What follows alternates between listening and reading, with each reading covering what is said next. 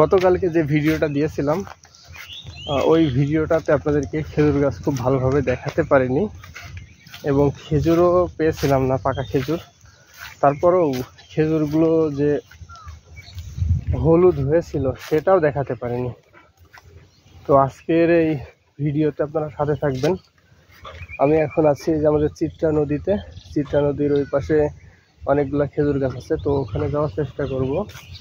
এবং ওখানকার খেজুর গাছগুলোর বর্তমানে কি অবস্থা? অর্থাৎ বলতে চাচ্ছি যে খেজুরগুলো পেকেছে কিনা সেটা আমরা দেখব।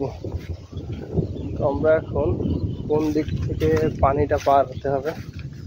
পানিটা পার হলে ভালো হয়। তো দেখি। এটা আমাদের চিত্রা নদী। এই যে নদীতে পানি খুব কম। পানি নাই বললেই চলে। আর এখনকার মানুষগুলো সবাই সবাই স্বার্থপর হয়ে গেছে। আমি নিজেও স্বার্থপর। নদী আর নদী নাই এখন। এই যে দেখেছেন, নদী আর নদী নাই। নদীর মাঝখান দিয়ে এখন পথ। অনেকে মাছ মাছ ধরার জন্য আর কি ছোট ছোট করে গর্ত কেটে শুয়েছে এই যে নদীতে পানি নাই। খেজুর খাওয়া, বিশেষ করে যারা গ্রামগঞ্জে বসবাস করতো, গ্রামে যারা বড় হয়েছে, সবাই মোটামুটিভাবে খেজুর খাওয়ার আনন্দটা কিন্তু উপভোগ করেছে তাদের ছেলেবেলায়। খুব সুন্দর একটা স্মৃতি আর কি, অনেকেরই বিজড়িত রয়েছে। এই যে আবার এখানে একটা ছোট খাল দেখতে পাচ্ছেন, নালা, রাস্তা বাঁধা হয়েছে।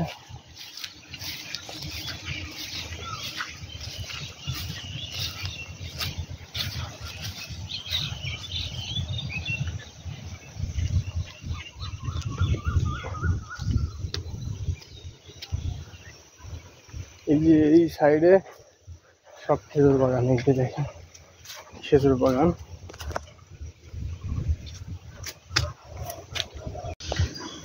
খেজুর মোটামুটিভাবে অনেক হলুদ হয়ে গেছে, আর পেকেছেও, যাই দুটো একটা পাকতেছে, পাখিতে আর কি খেয়ে নিচ্ছে।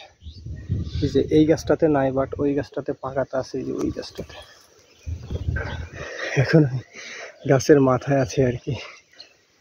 আছে এই গাছটাতে হয়তো দুটো একটা পাওয়া যাবে। এই যে অবশেষে এই কয়টা পেয়েছি। অন্য কোনো ব্লগে আপনাদেরকে অনেক অনেক খেজুর খেজুর পাকা দেখাবো।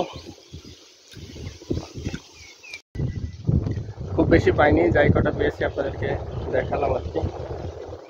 আজকের ব্লগটা এখানেই শেষ করছি। এখন বাসার দিকে চলে যাচ্ছি। আবার পরবর্তী ব্লগে আপনাদের সাথে দেখা হচ্ছে ইনশাল্লাহ সবাই ভালো থাকবে